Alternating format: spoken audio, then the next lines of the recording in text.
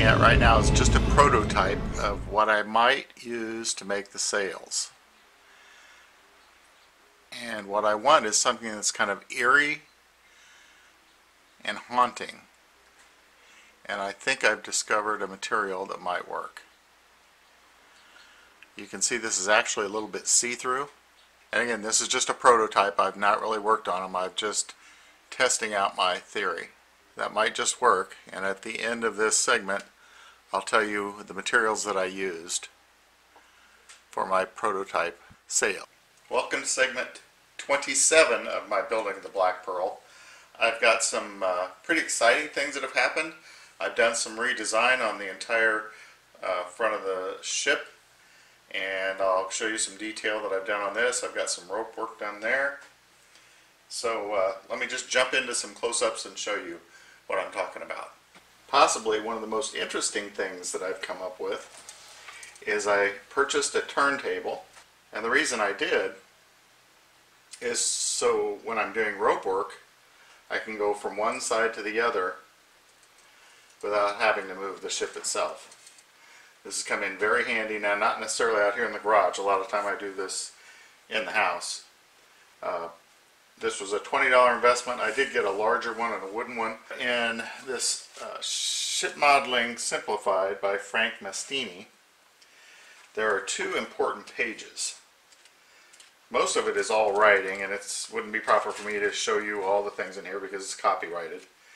But for me, page 144, and it lists out all the rope work and the order to do it in. On page 64, it gives you two drawings of the sprit sail. And I think that's what you call it. I keep saying spirit sail, but it's sprit sail. Um, and this whole area. There's one that uses a lot of chain and the other uses a lot of rope. So I did a combination. I put a chain through here. You can see I dropped a a piece of dowel rod down here for this support. Very helpful. So the whole book was worth it for those two pages. So I've taken some block and these each had two holes in them. There's one I've attached here and another one right there. You might notice that on this is the open side of the ship. There's just one of these blocks with two lines coming out.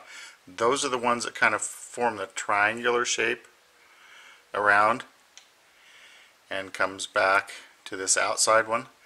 The inside one that's only on this side goes a different route. It goes up the boom. There's a, I put a brass connector there.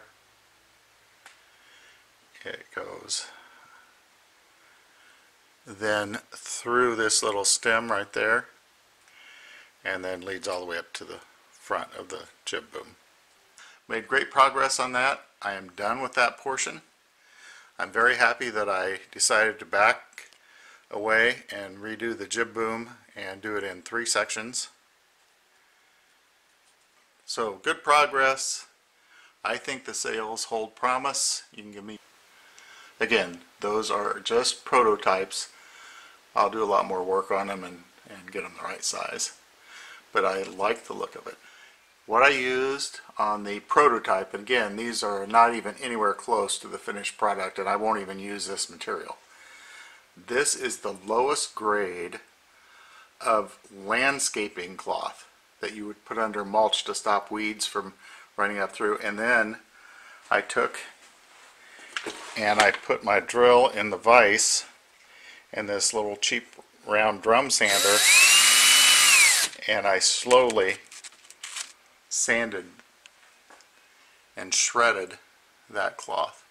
It is whisper thin. If I had some wind, it would flow nicely in the breeze. And it shreds beautifully.